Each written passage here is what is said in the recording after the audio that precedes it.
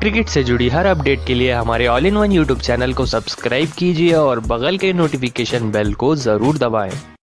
दोस्तों, अगर आपको भी आईपीएल की हाइलाइट्स देखना पसंद है तो इस वीडियो को दिल से लाइक ज़रूर कर दीजिए दोस्तों सन हैदराबाद बनाम दिल्ली कैपिटल्स के बीच में आईपीएल 2020 का एक और रोमांचक मुकाबला समाप्त हो चुका है आइए आप सभी को बता दें इस मुकाबले की पूरी हाईलाइट्स दोस्तों आप सभी को बता दें, इस काटी की टक्कर के मुकाबले में पहले बल्लेबाजी कर रहे उतरी हैदराबाद की टीम शुरुआत मानो काफ़ी ज़्यादा दमदार रही हैदराबाद की।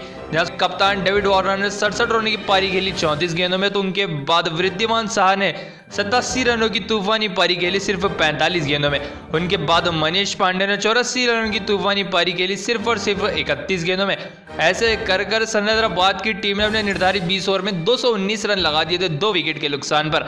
ऐसे में दोस्तों आप सभी को बता दें 220 रन के लक्ष्य का पीछा करते हुए सन हैदराबाद के दिल्ली कैपिटल्स की शुरुआत काफ़ी खराब रही, जहाँ गब्बर शिखर धवन शून्य रहाने 26 स्टोइनिस पाँच हेतमायर 16 रन बनाकर आउट हो गए। तो उनके बाद कप्तान श्रेयस अय्यर से काफ़ी बड़ी उम्मीद थी, लेकिन वो भी सात रन बनाकर आउट हो गए। ऐसे में दोस्तों आप सभी को बता दें, उनके बाद अक्षर पटेल मात्र एक रन बनाकर आउट हो गए तो ऋषभ पंत भी अंत में काफ़ी खास बल्लेबाजी नहीं कर पाए।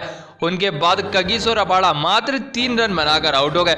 ऐसे में दोस्तों आप सभी को बता दें ताश के पत्तों की तरह बिगड़ने लगी थी पूरी दिल्ली कैपिटल्स की टीम, जिसके चलते दिल्ली कैपिटल्स की टीम अंत तक भी संभल नहीं पाई और उन्नीसवें ओवर में ही ऑल आउट हो गई। जी हाँ दोस्तों, इस मुकाबले में आठ विकेट से काफ़ी ज़्यादा विकेट जल्दी चले गए।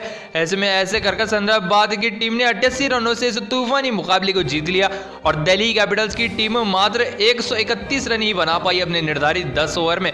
ऐसे में दोस्तों, आप सभी को बता दें, अगर गेंदबाजी की बात करें तो हैदराबाद की तरफ़ से राशिद खान ने काफ़ी ज़्यादा बेहतरीन गेंदबाजी की। दोस्तों आप सभी को बता दें, इस मुकाबले में जहाँ बल्लेबाजी से पहले काफ़ी ज़्यादा धूम मचाई हैदराबाद ने तो काफ़ी ज़्यादा गेंदबाजी से भी रोन कर रख दिया पूरी दिल्ली कैपिटल्स की टीम को।